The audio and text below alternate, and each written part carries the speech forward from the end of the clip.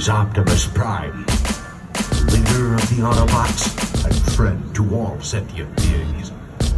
There was once a time, back on Cybertron, in the twilight hours of the...